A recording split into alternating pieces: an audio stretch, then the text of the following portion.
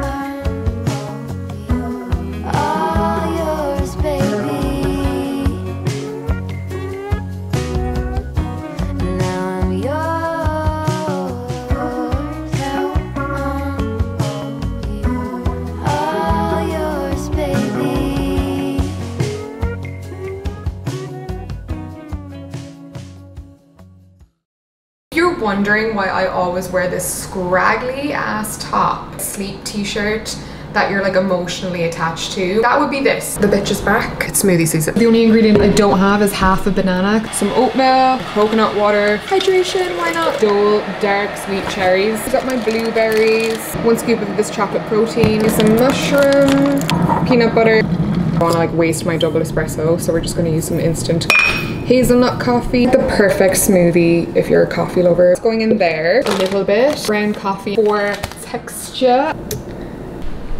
Mm. Oh, look at this piece of hair. Second full day back. I'm going for a haircut. Cannot wait. It's lovely, but at the same time, it's so unmanageable. I hope you enjoyed the little montage. Catch you up real quick. Yes, the boyfriend came. We had a wonderful week in New York. And this crazy thing happened at all of the East Coast airports and he was trying to get back to Vancouver for like three days. So yeah, my heart goes out to anyone that was stuck in that whole mess. I'll be honest, I haven't really felt secondhand stress like that in a hot minute. Were trying to like put him on flights two or three days later. He would have missed his parents. I'm all about following your instinct, following your gut, trying to do that without questioning it. When that man's third flight got cancelled, all of a sudden I was just like, I have to go with you. Packed a bag in 15 minutes. I was lying on my bed in my pajamas one minute and I'm deciding to go to Vancouver the next minute. Jump in the Uber. For some reason, his seat got cancelled on the way. Thank God he screenshotted his boarding tickets. If they deleted everything on the app. Winged it and we got through, went to the boarding gate for Boston.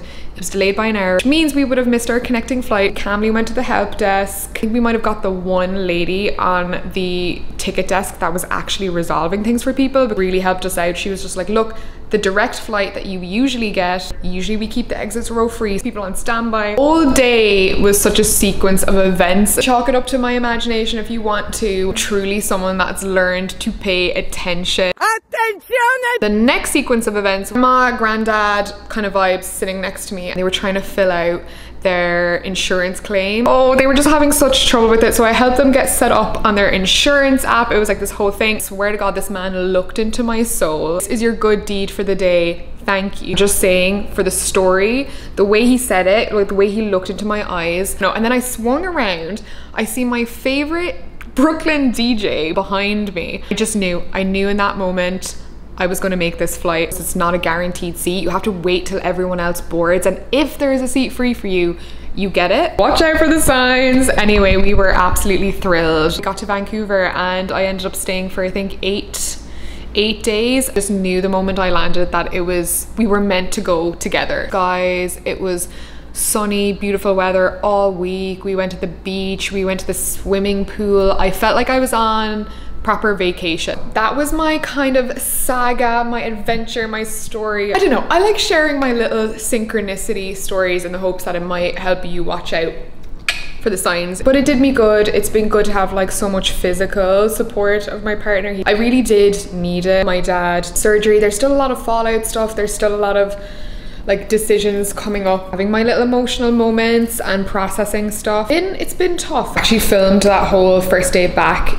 for a TikTok vlog. So I will link it down below. I know I've been terrible at linking things recently, like saying I've put something on TikTok and then I haven't, but this one is also kind of inadvertently show you how I pull myself out of a bit of a depressy slump, how I get back into the flow. See me cleaning my flat and talking about that. I'll leave it in the description, or you can just check me out on TikTok, same as my Instagram. Just find that it's really hard to make content when he's around, which is why I still love living on my own. I can still do of my online bits a lot easier. A little, little, little bit behind on my work deadlines, like my actual contracts with sponsorships, which is making me a little bit anxious. Some things done when I get back, we'll see. Got this vintage t-shirt from Awoke Vintage and I love it. It's got planets on the back and on the front and I love Okay, I've got you balancing on a box of tissues right now, but these are the shoes that I'm going for. Um, these were the other pair of like vintage eBay find little mules. They're so fab. I was meant to show you them in that uh, haul slash outfit that I shot. The reason it never went up is because I just, I hated it. So this is the little outfit for the day. Little planetary tee. Guys, I've just been living in these Speltham shorts. These are actually the mediums. I usually wear the small because I kind of got them for my boyfriend and I don't know. I just think they look better on girls. UK 8 to 10 or a US 4 to 6, I would just say if you want Speltham shorts, get them in the small. I brought the linen Speltham ones that I got to Vancouver, lived in them, lived in them. I just don't know how people do denim shorts in the summer. Like, I can't imagine something more uncomfortable. Like denim wedged up my arse in the summertime when it's 32 degrees. If you can do it, power to you. I can't. So to me, this is like the perfect little outfit. I just put on some concealer, brow gel, a little bit of blush so I don't get like depressed looking at myself in the hairdresser's chair looking like an egg. Put on this old lip liner which I fundamentally don't agree with. I just could not find my favorite one. I feel like it's a rule that you have to have a good hair day on the day you're getting a haircut. Got my hair cut. This is Shara, my gorgeous, gorgeous hairdresser of the last few years who sorts me out.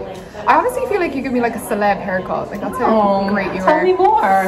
Okay, so I honestly like this is the vibe that suits me. Mm-hmm. So like we're phasing out the curtain bangs, layered, longer in the front, less curtain bangy suits me. Mm-hmm. Um, so I think kind of the same vibe, but just like weight out, Lighter, shorter, lighter, airier. Yeah, the, the majority, like the weightiness of my hair, to come up to maybe like that armpit crease. See, like where this is like a little like help me. yeah, yeah. I mean, all of the weight now seems to be here, this section in the here. back and like here. Yeah, that's where I feel like it's kind of built up the most. The front is actually quite nice. The front- in this section of my head, Yeah. like feels right. We can just go through and kind of like connect the dots a little bit Yes. from like that old stuff. Yeah. Bring that in and then Like tapered end. Okay. I would say. yeah, this is like this is This is, still like, like, a little like end. beefy right Yes. through here, so we'll just like soften it. Giving cute baby doll, youthful, aging backwards. Hey, what's going on?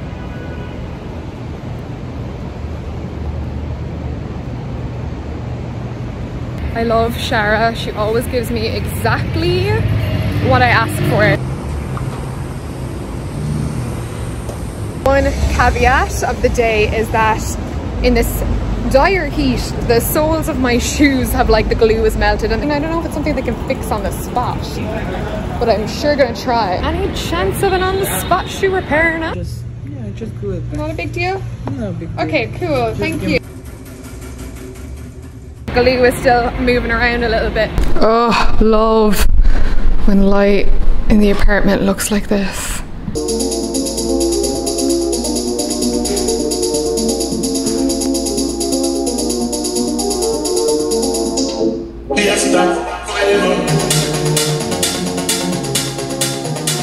This is my favorite. This is precarious. I still don't have my tripod. If you were looking for a cheap celeb skin hack. I got it on the shopping website that sounds like a rainforest. I've just gotten up, I'm a little puffy and round. This doesn't exactly fit my face very well. I do strap it on pretty tight, but yesterday I got brain freeze, so I ended up just kind of holding it on my face like this. I think the ones with the double band would be better, but I usually just tie this up more so near the top of my head. I can't believe I'm talking to you seriously. I also just think it gives you a bit of cold therapy if I've got like migraines or... Okay, so I'm taking it off. Oh. Okay, my face is gonna be a bit red, but I think I'm a lot less moon facey. Like overall, she's looking good. See the hollows of my cheekbones kind of coming in again. Cheap and cheerful. Don't get me wrong, I love NuFace, like the microcurrent. I feel like that's great for lift. Like if you were to do the ice mask and NuFace microcurrent or some kind of microcurrent device, like you would be red carpet level snatch. But I find that I don't always need the lift. Like sometimes I could do with a bit of a just like a tightening on my forehead just to lift my brows a bit. But on the day to day, it's more of a deep puff I need.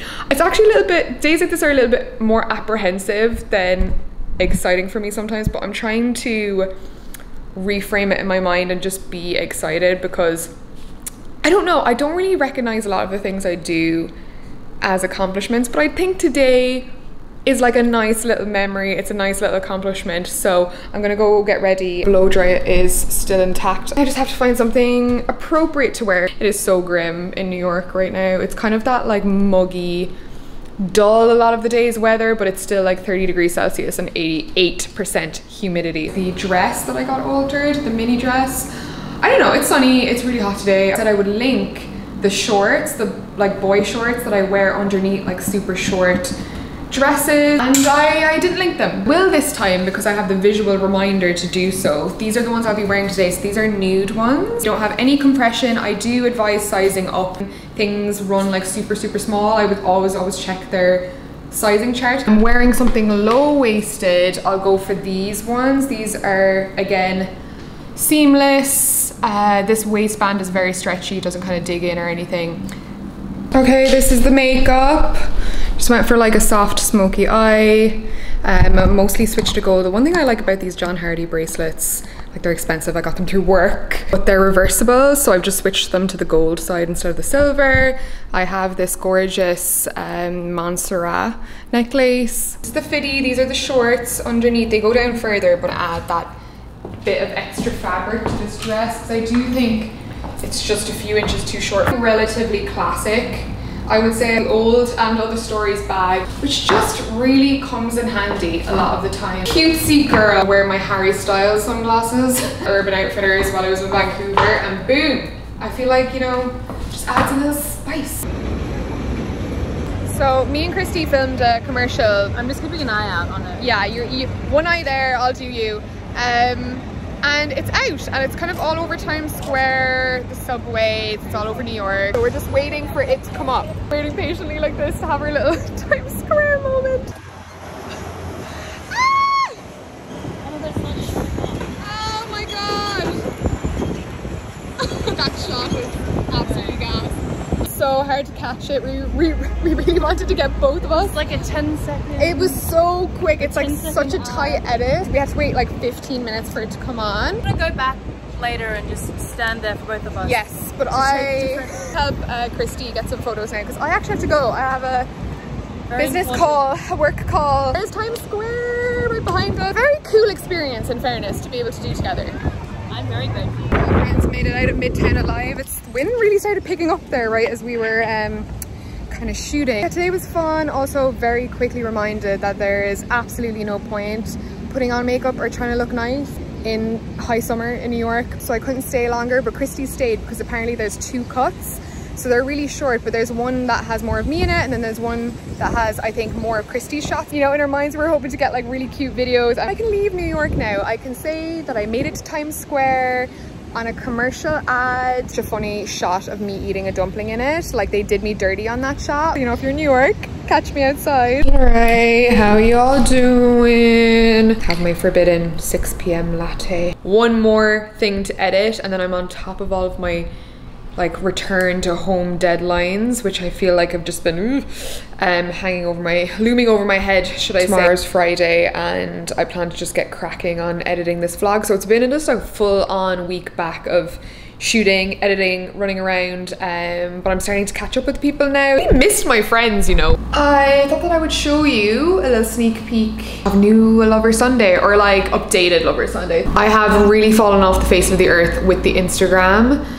But I'm okay with that. You know, sometimes creative projects dip. It's not the end of the world. I think like the concept is alive and well in my spirit. I just really haven't had the manpower. The thing is when you guys wear it out, I think other people that don't know anything about me or Lover Sunday end up finding my website and finding the pieces, which is kind of what I always wanted. Anyway, I have uh, a new colorway in the classic unisex t-shirt. Slightly longer, but not too long. Like I have a short body, like torso length, fit the same as kind of the t-shirt I wore with the planets all over it over a pair of shorts like it definitely lengthens out my body a little bit I'm still kind of deprogramming myself from high-waisted everything of refamiliarizing myself with other silhouettes red on red sweater is a big favorite and I haven't done it in a t-shirt yet so this is the red on red Lover Sunday. I just love that it's kind of subtle. These are so soft and they wash so well. Away labels, they just come off like that. This will definitely be limited, but I wanted to do something fun for summer. This is the lilac with red. I love pink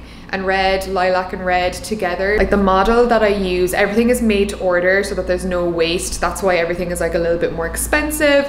Somebody else handles like the heavy lifting. Fortunately comes creative control, sacrifices you have to make. And one of those things is that when you embroider, you have to use backing for it to stitch. One had white backing and one had black and I prefer the white backing. So the other one that had the white backing was way more neatly cut around. So I do dislike that inconsistency, with how the backing looks and how neat it looks. But just FYI, the backing does soften and sort of like break away over time with a few washes. Also just tears away really easily like this. I just wanted to kind of mention that it's not something you should have to do. It should just look something like that. So however, I think it's worth it for the beautiful embroidery for a lot of t-shirts that creators come out with, they're always like screen printed. A lot of the times they just don't wash well or aren't very nice quality. Like I want this to be in your closet for years and years and years and the embroidery is never going to just fade or get kind of gross. But the next drop is going to have two prints. Any ideas?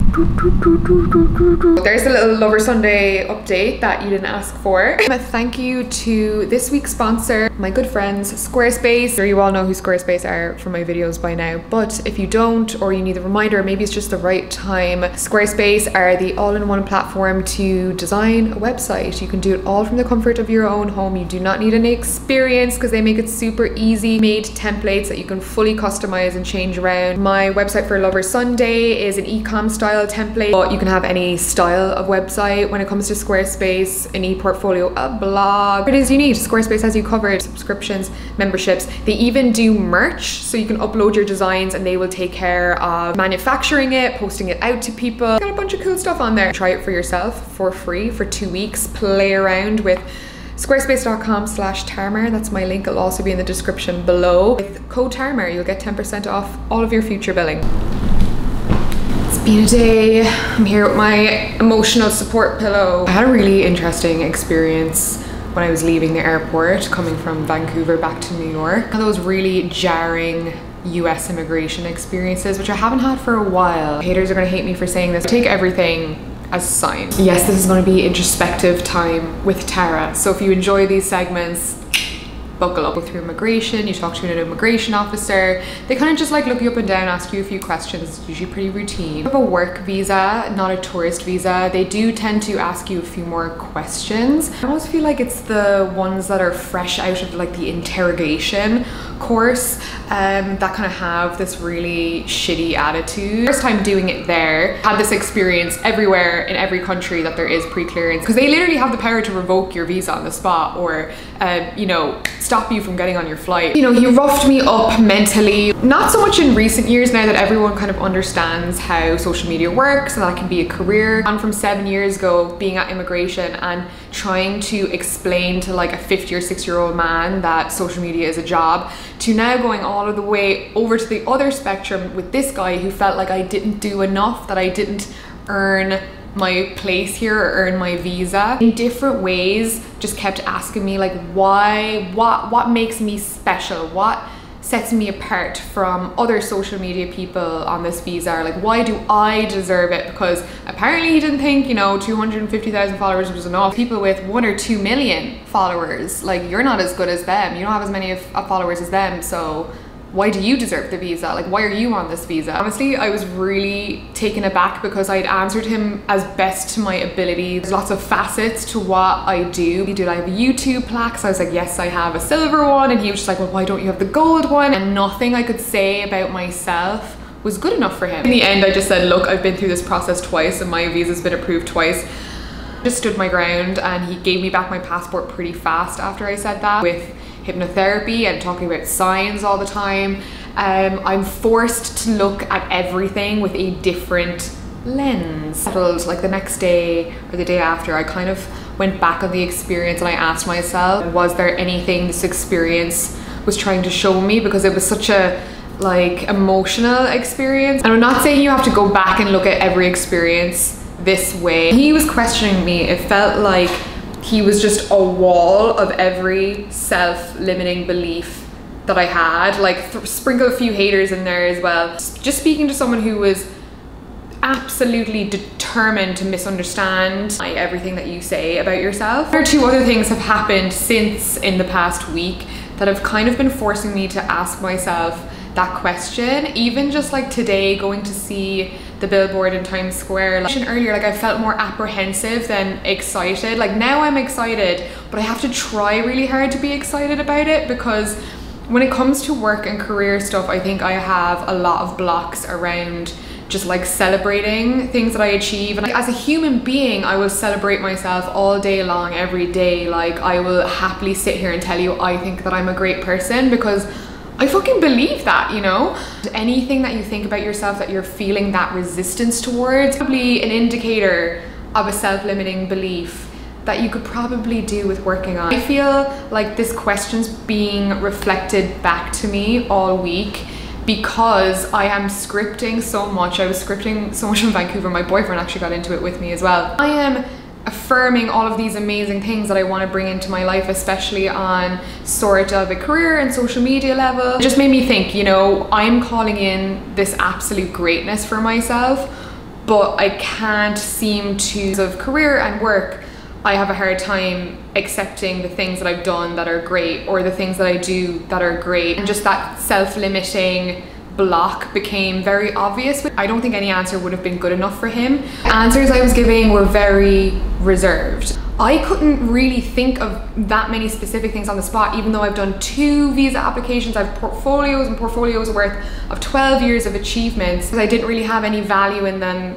myself. Um, I didn't see them as achievements to be that proud of. Like I just, as a person, I don't really value career stuff. It was just food for thought, you know, because I'm trying to achieve a level of greatness in what I do, but I haven't really accepted the greatness in myself. It's kind of what I'm going to be working on just on a personal little side note level. Um, and I think that this line of inquiry can probably be applied to any area or theme in your life. Make it a little bit interactive and like just get out your phone right now, start a new note and just like right at the top just say like what makes me great. That's what I'll be doing kind of in my scripting journal this week is building that confidence because I think scripting is amazing for getting ballsy with your affirmation, trying to draw stuff into their lives, manifest what have you. I think it's important activity to do a little bit of shadow work, you know. I love talking about this stuff, so I would love to know your thoughts, your two cents. Thank you all for tuning in. Have a fantastic week. Mwah. Bye.